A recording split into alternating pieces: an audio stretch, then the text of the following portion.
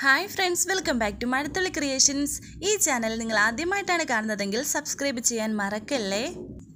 വിശാൽ ജാസ്മിനെ കൂട്ടി പുറത്തേക്ക് പോകാൻ തുടങ്ങിയപ്പോൾ പെട്ടെന്നൊരു നാടകം കളിക്കുകയാണ് പാർവതി. തല കറങ്ങി വീഴുന്നത് പോലെ ആക്ട് ചെയ്യുന്നുണ്ട്. പെട്ടെന്ന് വിശാലും അവിടെ നിന്ന് എല്ലാവരും പാർവതിയെ പിടിച്ച് എണ്ണിപ്പിക്കുന്നു. എന്തു പറ്റി പാർവതി എന്ന് വിശാൽ ചോദിച്ചപ്പോൾ ഇല്ല സർ ഒരു തല ചുറ്റിയതുപോലെ. തല ചുറ്റിയതല്ലേ ഉള്ളൂ വേറെ കുഴപ്പമൊന്നുമില്ലല്ലോ എന്ന് സുശീല പറയുന്നുണ്ട്. എന്നാൽ ഗാർഗി പറയുന്നു ആ ഇപ്പോൾ അത് തന്നെ. കല്യാണം കഴിഞ്ഞ ശേഷം പെണ്ണുങ്ങളെ പ്രത്യേകിച്ച് ഒരു കാരണവുമില്ലാതെ തലചുറ്റി വീഴണമെങ്കിലേ? അത് പ്രഗ്നൻസിയുടെ ലക്ഷണമായിരിക്കും. ഇരിക്കട്ടെ നാണത്തോടെ ഇരിക്കുകയാണ് പാർവതി സന്തോഷത്തോടെ വിശാലം. ഞെട്ടലോടെ സുശീലയും ജാസ്മിനും. ഗാർഗി വീണ്ടും പറയുന്നു താങ്കൾ ഒരു അച്ഛനും ഈ ഇരിക്കുന്ന മഹതി ഒരു അമ്മയും ആവാൻ പോവുകയാണ്. ഇതൊന്നും കേട്ടിട്ട് ജാസ്മിൻ ആണെങ്കിൽ സഹിക്കാൻ കഴിയുന്നില്ല. ഗാർഗി പറയുന്നു എന്താ ഞാൻ പറഞ്ഞത് ശരിയല്ലേ സുശീല അങ്ങനെ ഉറപ്പിച്ച് പറയാനൊന്നും പറ്റില്ല. ചിലപ്പോൾ ക്ഷീണം കൊണ്ട് വീണതും ആവാം എന്ന് സുശീല പറയുന്നുണ്ട്. പാർവതി ഗാർഗി പറഞ്ഞത് ശരിയാണോ? ഇങ്ങനെ ചിരിച്ചാൽ ഞാൻ എന്താ മനസ്സിലാക്കേണ്ടത് ഇന്നതേ അറിഞ്ഞിട്ട് തന്നെ കാര്യം. ജാസ്മിൻ നീ ഡ്രൈവറെ വിളിച്ച് കാർ എടുത്ത് പാസ്പോർട്ട് ഓഫീസിലേക്ക് പോയിക്കോളൂ. ആന്റി ഒന്ന് കൂടെ ചെല്ലുന്ന സുശീലയോടും പറയുകയാണ് ജാസ്മിൻ. എന്നിട്ട് പാർവതിയെ വിശാൽ പതി എണീപ്പിക്കുന്നു. ദേഷ്യത്തോടെ ജാസ്മിൻ നിൽക്കുന്നുണ്ട്. ഈ സമയം പല്ലവി വിചാരിക്കുന്നു ഏത് വിധേനയും വിപിൻ സാറിന്റെ വിരോധം മാറ്റിയെടുത്തേ മതിയാകും. ഇപ്പോൾ അകൽച്ചയിലായിരിക്കുന്ന വിപിൻ സാറ് എല്ലാം മറന്ന് എന്നെ സ്നേഹിക്കണം എന്നോട് അടുക്കണം. എന്നെ ആട്ടിയിറക്കിയാലും എന്നെ വഴക്ക് പറഞ്ഞാലും ഞാൻ വിപിൻ സാറിൽ നിന്നും അകന്നു പോവില്ല. വിപിൻ ഇങ്ങനെ ഓരോന്ന് ആലോചിച്ച് വിഷമത്തോടെ നിന്ന സമയം വിപിന്റെ അടുത്തേക്ക് പല്ലവി വന്നു. വിപിൻ സാർ എന്നെ സ്നേഹത്തോടെ പല്ലവി വിളിച്ചപ്പോൾ ദേഷ്യത്തോടെ മാറി മുഖം തിരിക്കുകയാണ് വിപിൻ. വിപിൻ സാറ് കാര്യമായ എന്തോ ആലോചനയിലാണല്ലോ. ഇനിയിപ്പോൾ ഗൗരവമായ ആലോചനയിലാണെങ്കിലും ഒരിത്തിരി നേരം എന്നോട് മിണ്ടിയും പറഞ്ഞു ഇരിക്കാം എന്ന് പല്ലവി പറഞ്ഞപ്പോൾ എന്നെ ശല്യം ചെയ്യാതെ ഒന്ന് പോകുന്നുണ്ടോ എന്ന് വിപിനും പറയുന്നു. ശരി എങ്കിൽ ഞാൻ ശല്യപ്പെടുത്തുന്നില്ല. സാറിന്റെ ചൂട് മാറാനേ ഞാൻ ചൂടായിട്ടൊരു ചായ എടുക്കട്ടെ എന്ന് പല്ലവി പറയുന്നുണ്ട്. എനിക്കൊന്നും കേൾക്കണ്ട നീ ഒന്ന് പോയി തന്നാ മതി എന്ന് വിപിൻ പറയുന്നു. ആയിക്കോട്ടെ ഞാൻ പോയി തന്നേക്കാം. പക്ഷേ പോകുന്നതിന് മുമ്പ് ഒരു കാര്യം എനിക്ക് സാറിനോട് ഓർമ്മിപ്പിക്കാനുണ്ട്. സാറിനെ പാർവതി ചേച്ചിയോട് ഉള്ള ബഹുമാനം കാരണമാണ് ഞാൻ ഗർഭിണിയാണ് എന്ന് നുണ പറഞ്ഞിട്ടും സാറിനെ ജീവിതത്തിലേക്ക് സ്വീകരിച്ചത്. അപ്പോൾ സാറിന് ചേച്ചിയോടും ഒരു ഉത്തരവാദിത്വമൊക്കെ ഉണ്ട് എന്ന് പല്ലവി പറഞ്ഞപ്പോൾ വിപിൻ ചോദിക്കുന്നുണ്ട് നീ എന്താ പറഞ്ഞു വരുന്നത് എന്ന്? അതായത് ഞാൻ ഗർഭിണിയല്ല എന്ന് ഇപ്പോൾ അറിയാവുന്നത് സാറിനും എനിക്കും ചേച്ചിക്കും പിന്നെ ആ ഡോക്ടറിനും മാത്രമാണ്.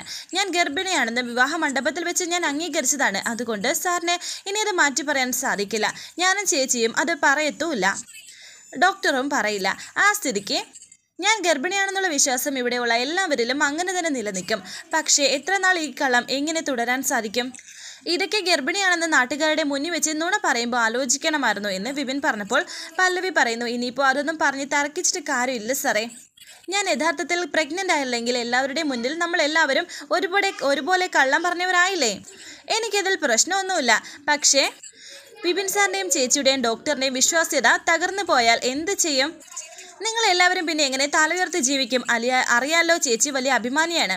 ഈ ഒരു കാരണത്താൽ ചേച്ചിയുടെ അഭിമാനം നഷ്ടപ്പെട്ടാൽ മിക്കവാറും ചേച്ചി ആത്മഹത്യ ചെയ്തു എന്ന് വരും. പക്ഷേ ഈ നാണക്കേടും പ്രശ്നങ്ങളും വിപിൻ സാർ വിചാരിച്ചാൽ പരിഹരിക്കാവുന്നതേ ഉള്ളൂ. അത് എങ്ങനെയെന്നാണോ സാറ് ചിന്തിക്കുന്നത്. അത് സിമ്പിൾ അല്ലേ സാറേ? നമ്മൾ മനസ്സ് വെച്ചാൽ ഞാൻ പറഞ്ഞ നുണ യാഥാർത്ഥ്യമാക്കാവുന്നതേ ഉള്ളൂ. മനസ്സിലായില്ലേ? കല്യാണം കഴിഞ്ഞ് കുറച്ച് കഴിയുമ്പോൾ നാട്ടുകാരും ബന്ധുക്കളും ചോദിക്കില്ലേ വിശേഷമില്ല എന്ന്? ആ വിശേഷം എനിക്ക് യഥാർത്ഥത്തിൽ ഉണ്ടായാൽ മതിയെന്ന് പല്ലവി പറഞ്ഞപ്പോൾ ദേഷ്യത്തോടെ വിപിൻ പറയുന്നു നിന്റെ ഈ ആഗ്രഹം ഒരിക്കലും നടക്കാൻ പോകുന്നില്ല പല്ലവി. ചേച്ചിയുടെ പേര് പറഞ്ഞ് സെന്റിമെന്റ്സ് ഇറക്കിയാൽ എന്റെ മനസ്സ് മാറുമെന്നാണോ നീ വിചാരിച്ചത്? ഒരിക്കലും മാറില്ല. നിന്നോടുള്ള വെറുപ്പേ ഒരിക്കലും തീരില്ല എനിക്ക്. നീ നയത്തിൽ സൃഷ്ടിച്ചെടുക്കാൻ നോക്കുന്ന ആ ദാമ്പത്യ ബന്ധമുണ്ടല്ലോ നമുക്കിടയിൽ ഒരിക്കലും നടക്കില്ല. നിന്റെ കള്ളത്തരം എല്ലാവരും അറിയണം. നിന്റെ ചതി എല്ലാവരും മനസ്സിലാക്കണം. അതാണ് എന്റെ ലക്ഷ്യമെന്ന് വിപിൻ പറഞ്ഞപ്പോൾ പല്ലവി പറയുന്നു സാറിന്റെ ലക്ഷ്യം ഒരിക്കലും നടക്കാൻ പോകുന്നില്ല. ഞാൻ പറഞ്ഞ നുണയെ യാഥാർത്ഥ്യമാക്കാൻ ഞാൻ ഏതറ്റം വരെയും പോകും. സാർ അതിനുവേണ്ടി ഒരുങ്ങിയിരുന്നോ? എന്ന് പറഞ്ഞ് പല്ലവി അവിടെ നിന്ന് പോകുന്നുണ്ട്. പിന്നീട് കാണിക്കുന്നത് പാർവതി പുറത്ത് ഒറ്റയ്ക്ക് നിന്ന് ചിരിച്ചുകൊണ്ടിരുന്ന സമയം വിശാൽ പാർവതിയുടെ അരികിലേക്ക് വരുന്നു. പാർവതി നീ ഇങ്ങനെ ചിരിക്കാതെ കാര്യം എന്താണെന്ന് വെച്ചാൽ പറയേ. എന്ത് പറ്റി? ഇത് കേട്ട് പാർവതി പറയുന്നു ഞാൻ ഗർഭിണിയാണെന്ന് സാറിനോട് ആരാ പറഞ്ഞത്? അപ്പോൾ നീ പ്രഗ്നന്റ് അല്ലേ? എന്ന് വിശാൽ അപ്പോൾ അവിടെ നീ തലകറങ്ങി വീണതോ? ഗർഭിണി ആയതുകൊണ്ട് മാത്രമാണോ തലകറങ്ങി വീഴുന്നത്? എന്നെ പാർവതി പറഞ്ഞപ്പോൾ വിശ വിശാൽ വിഷമത്തോടെ പറയുന്നു വെറുതെ പ്രതീക്ഷിച്ചു. സാറിന് സങ്കടമായോ? എന്നെ പാർവതി ചോദിക്കുന്നു. ഏയ് സാരമില്ല. സാറിന് വിഷമമായെന്ന് എനിക്ക് മനസ്സിലായി. സാർ എന്നോട് ക്ഷമിക്കണം.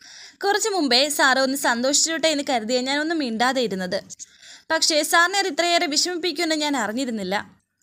പാർവതിക്ക് അറിയാലോ ഞാൻ ഇപ്പോൾ ഏറ്റവും കൂടുതൽ ആഗ്രഹിക്കുന്നത് പാർവതി ഒരു അമ്മയാവുന്നത് കേൾക്കാനാണ്.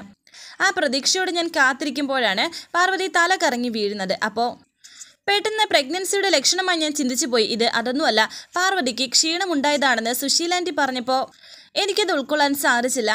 പാർവതി മറിച്ചൊന്നും പറഞ്ഞതുമില്ലായിരുന്നു. ഞാൻ അത്രയ്ക്ക് ഗൗരവത്തോടെ ചിന്തിച്ചില്ല സാർ എന്ന് പാർവതി പറഞ്ഞപ്പോൾ സാരമില്ല എനിക്കിപ്പോൾ വിഷമമില്ല എന്ന് വിശാൽ. സാറ് എന്നെ ആശ്വസിക്കാൻ ആശ്വസിപ്പിക്കാൻ പറയുന്നതല്ലേ പെട്ടെന്ന് ഒരു അമ്മയാവണം എന്ന് എനിക്കും ആഗ്രഹമുണ്ട്.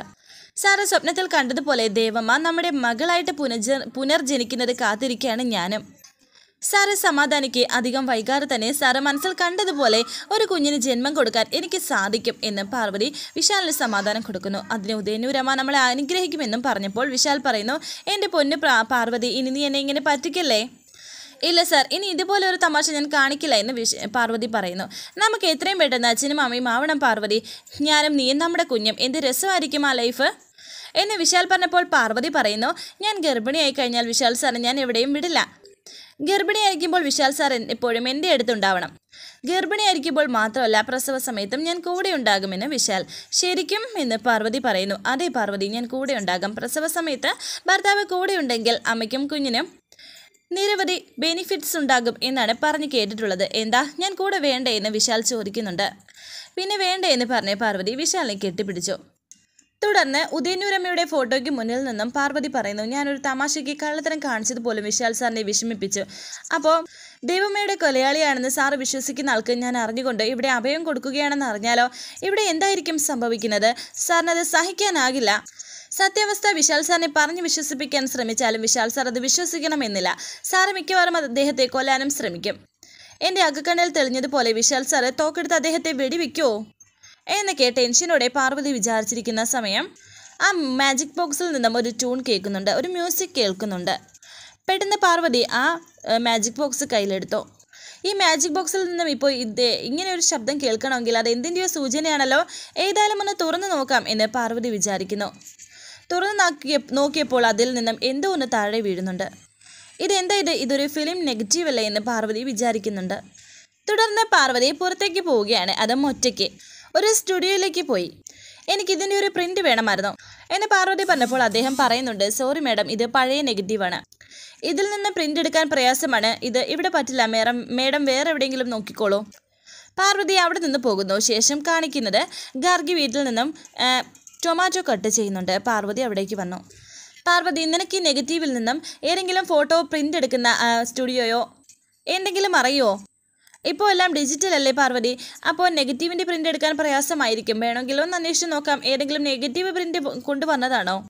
എന്നെ ഗാർഗി പറയുന്നു. ഉണ്ട്. എന്റെ കയ്യിലൊരു നെഗറ്റീവ് ഉണ്ട്. അതിന്റെ അതൊരു പ്രിന്റ് ആക്കണം. ഞാൻ അതുകൊണ്ട് ടൗണിലുള്ള ഒരു സ്റ്റുഡിയോയിലേക്ക് പോയിരുന്നു. പക്ഷേ അവർക്ക് പ്രിന്റ് എടുക്കാൻ പറ്റില്ല എന്ന് പറഞ്ഞു. എന്താണ് ആ നെഗറ്റീവിലുള്ളതെന്ന് ഗാർഗി ചോദിച്ചപ്പോൾ അത് അറിയില്ല. അതുകൊണ്ടാണ് പ്രിന്റ് എടുക്കണം എന്ന് പറഞ്ഞത്. ഗാർഗി ആ മാജിക് ബോക്സിലെ നമ്മുടെ അതിൽ നിന്നാണ് ഈ പ്രിന്റ് കിട്ടിയിരിക്കുന്നത്.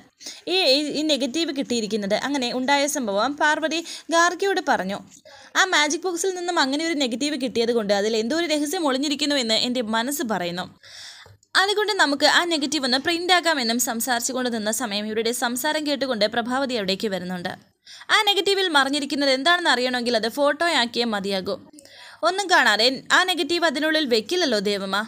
പ്രഭാവതി മനസ്സിൽ വിചാരിക്കുന്നു എന്ത് നെഗറ്റീവിന്റെ കാര്യം ഇവർ പറയുന്നത്? ഗായത്രിയുടെ പേര് പറയുന്നുണ്ടല്ലോ. ഗായത്രി ഒളിപ്പിച്ചു വെച്ച് നെഗറ്റീവ് ആണെങ്കിൽ മിക്കവാറും അത് ഞാനുമായി ബന്ധപ്പെട്ട നെഗറ്റീവ് തന്നെയായിരിക്കും. നെഗറ്റീവ് ഫോട്ടോ ആക്കിയാൽ അത് എനിക്ക് നേരെയുള്ള അസ്ത്രമാവുമോ നെഗറ്റീവ് എങ്ങനെയെങ്കിലും കണ്ടെത്തണമല്ലോ. ശേഷം കാണിക്കുന്നത് ജാസ്മിൻ പതിയെ. വിശാലിന്റെ മുറിയിലേക്ക് വന്നിരിക്കുന്നു. അവിടേക്ക് ഒന്ന് നോക്കുകയാണ്. എന്നിട്ട് മേശ തുറന്നിട്ട് അവിടെ ഒരു ഹാർട്ടിന്റെ ഒരു സംഭവം എടുക്കുന്നുണ്ട്. പിന്നെ പാർവതിയുടെ ഒരു സാരിയും എടുത്തു. അത് എടുത്തു വെച്ചിട്ട് ജാസ്മിൻ വിചാരിക്കുന്നുണ്ട് പാർവതിയുടെ സാരി എടുത്ത് ഞാനിവിടെ ഇങ്ങനെ തിരിഞ്ഞു നിന്നാൽ ഉറപ്പായിട്ടും വിശാൽ കയറി വരുമ്പോൾ പാർവതിയാണെന്ന് വിചാരിച്ച് എന്നെ കെട്ടിപ്പിടിക്കും.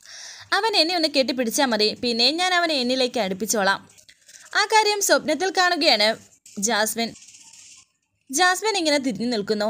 വിശാൽ പിറകിൽ കൂടി വന്ന് ജാസ്മിനെ കെട്ടിപ്പിടിക്കുകയും പിന്നെ മുഖം കണ്ടിട്ട് പോലും വിശാൽ വിടാതെ രണ്ടുപേരെയും തമ്മിൽ കെട്ടിപ്പിടിച്ച് ഇങ്ങനെ നിൽക്കുന്നുണ്ട്. വിശാൽ എന്നെ ജാസ്മിനെ വിളിച്ചപ്പോൾ സോറി ജാസ്മിൻ ഞാൻ വിചാരിച്ചു പാർവതിയാണെന്ന്. സോറി ഞാൻ അറിയാതെ പറ്റിപ്പോയതാണെന്നൊക്കെ വിശാൽ പറയുന്നുണ്ട്. അതിനെന്താ ജാസ്മിൻ ഇറ്റ്സ് ഓക്കെ. ഇതിനൊക്കെ എന്തിനാ സോറി പറയുന്നത്? അല്ല നീ ഈ സാരി എടുത്തോണ്ടാ എനിക്ക് അബദ്ധം പറ്റിപ്പോയത്. നീ എന്തിനാ പാർവതിയുടെ സാരി എടുത്തെടുത്തത് എന്നെ വിശാൽ പറഞ്ഞപ്പോൾ ജാസ്മിൻ പറയുന്നു അത് ഞാൻ വീട്ടിൽ നിന്ന് വന്നപ്പോൾ ഡ്രസ്സ് കൊണ്ടുവന്നില്ല. അതുകൊണ്ടാണ് ഈ സാരി എടുത്തത് എന്റെ കാര്യം കഴിഞ്ഞു. ഇനി എന്തിനാ? ഇതും ചുറ്റി നടക്കുന്നത് എന്നും ജാസ്മിൻ വിചാരിക്കുന്നുണ്ട്. ജാസ്മിന്റെ വെറും സ്വപ്നം മാത്രമായിരുന്നു അത്. ആ സമയത്താണ് പാർവതി അവിടേക്ക് വരുന്നത്. ഇവളെന്തിനാ എന്റെ സാരിയും പിടിച്ചുകൊണ്ട് നിൽക്കുന്നത്? എന്നെ പാർവതി വിചാരിക്കുന്നുണ്ട്. ജാസ്മിൻ എന്ന് വിളിക്കുന്നു. നീ എന്തിനാ എന്റെ സാരിയും കൊണ്ട് നിൽക്കുന്നതെന്നും ചോദിക്കുന്നുണ്ട്. പാർവതി ഈ സാരി നീ ടെറസിൽ വിരിച്ചിട്ടിരിക്കുകയല്ലായിരുന്നോ? എന്നാലേ നീ ഇത് ടെറസിൽ വിരിച്ചിട്ടിരിക്കുകയായിരുന്നോ? അത് അവിടെ നിന്നും ഇത് കാറ്റടിച്ച് പറന്ന് എന്റെ മുറിയുടെ ബാൽക്കണിയിലാണ് വന്ന് വീണിരിക്കുന്നത്. ടെറസിൽ ഞാൻ ഈ സാരി വിരിച്ചിട്ടതായിട്ട് ഞാൻ ഓർക്കുന്നില്ലല്ലോ? എന്നെ പാർവതി പറഞ്ഞപ്പോൾ ജാസ്മിൻ പറയുന്നു പിന്നെങ്ങനെയാണ് ഇത് എന്റെ മുറിയുടെ ആ ഭാഗത്ത് വന്ന് വീഴുന്നത്? നീ ഇത് തരാനാണോ ഇങ്ങോട്ടേക്ക് വന്നത്? എങ്കിൽ പിന്നെ ഇത് തന്നേക്കു എന്ന് പാർവതി. ഇത് നിനക്ക് തരാനാണ് ഇങ്ങോട്ട് വന്നത്. അപ്പോൾ ഒരു രസകരമായ കാര്യം എനിക്ക് നിന്നോട് പറയാനുണ്ട്. എന്നെ ജാസ്മിൻ പറഞ്ഞപ്പോൾ ടെൻഷനോടെ പാർവതി ആലോചിക്കുന്നു. വരാനിരിക്കുന്ന പുതുപ്പത്തിന് എപ്പിസോഡുമായി വീണ്ടും കാണാം. Thank for watching please subscribe like share my channel